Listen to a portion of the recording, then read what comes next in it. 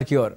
मुख्यमंत्री अशोक गहलोत शुक्रवार को झुंझुनू के गुड़ा गाँव पहुँचे, जहाँ उन्होंने मंत्री राजेंद्र सिंह गुड़ा के बेटे शिवम गुड़ा के जन्मदिन कार्यक्रम में हिस्सा लिया। इसके साथ ही उदयपुर वाटी प्रीमियम लीग क्रिकेट प्रतियोगिता के विजेता, उपविजेता टीम को पुरस्कृत किया।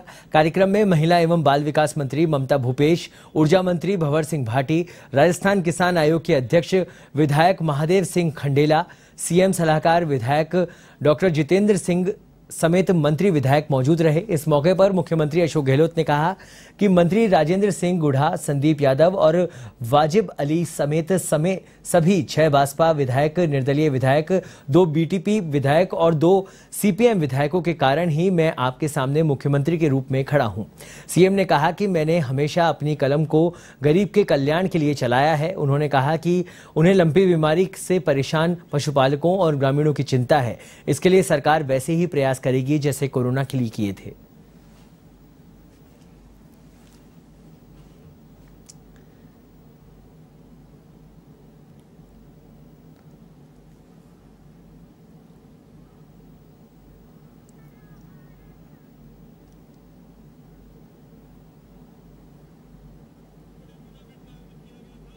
के बारे में क्या कहूँ आपको? आप सबको मालूम है, खूब आपने पढ़ा होगा, सुना होगा। अगर मैं आज आपके सामने खड़ा हूँ मुख्यमंत्री के रूप में, अगर ये संदीप यादव वारिद अली गोड़ा अगर साथ नहीं देते मेरा, छह लोग तो ये बीएसपी के साथ ही आए। दस, बारह, तेरह लोग थे इंडिपेंडेंट लोग को दो बीटीपी के, दो सीपीएम के।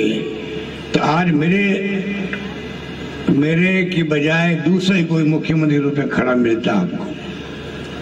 आपके आशीर्वाद से मुझे तीसरी बार मुख्यमंत्री बनने का सौभाग्य मिला है, तीसरी बार।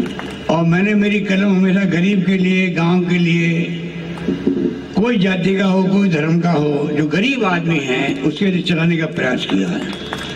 अंतिम सांस तक मेरी कलम उसके लिए चलेगी। कहीं भी चलो, चलेगी।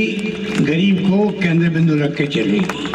गरीब का मतलब वो किसान भी हो सकता है, मजदूर हो सकता है, कोई व्यक्ति हो सकता है जिसको ज़रूरत है राज की।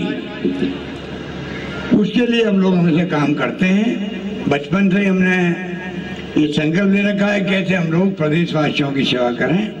वो मैं कर रहा हूँ और मुझे आनंद भी आ रहा है। जो मैं फैसले करता हूँ, अभी लंपी रोग हो गया गायों का।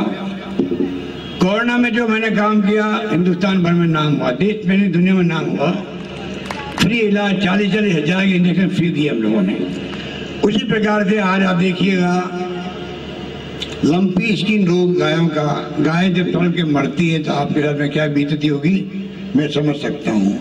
हमने पूरा, उनका वैक्सीन नहीं है, उसकी दवाएँ नहीं है। केंद्र से बात कर रहे हैं, पर जो संभव है, देसी इलाज, वो भी करवा रहे हैं, आयुर्वेद का भी है, होम्योपैथी का भी है।